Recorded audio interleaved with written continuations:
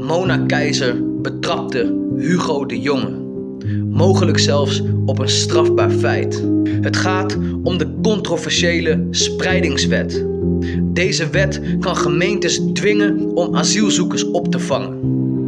Deze wet is nog niet aangenomen door de Eerste Kamer, dus officieel nog niet van kracht. Maar Hugo de Jonge zou Hugo niet zijn als hij niet overal maling aan had. Samen met staatssecretaris Van de Burg voert hij die wet gewoon uit alsof deze wet al is aangenomen.